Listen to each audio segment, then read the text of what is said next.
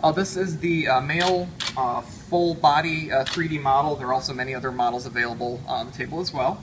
This is the male 3D model. And uh, to interact with the interface, you use one finger to rotate uh, the image. You use two fingers to drag the image around to another location on the screen. And you can also use two fingers to pinch and zoom, similar to what you use on, uh, on your phone or on a tablet. And allows you're- you to go Yep. all the way through the model. This is essentially what a. CT scan or MRI would look mm-hmm. like when they have their series of mm-hmm. images, right? Is that you're looking through these. So think about the fields of radiology, think about mm-hmm. the fields of, you know, going into physical therapy. You know, how important is it to be able to see and do better di- visual diagnostics when you start with a foundation like this? It's amazing.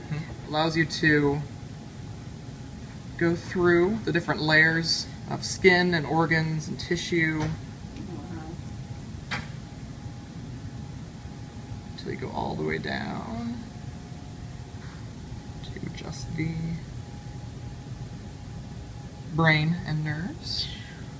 Well, it really is, you know, educationally, you had just thinking about why is this a really good educational tool? It's not the bells and whistles, it's the fact that relative anatomy and layering and how, you know, uh, things an- anatomically sit together and how they may be functionally completely separate. That's so hard to visualize in a real, uh, you know, in a real cadaver without an intense amount of work. And so this allows students to actually start to build these 3D image visualization models in their mind very early as opposed to waiting until they're actually going into surgery or waiting through their surgical residency to build those models.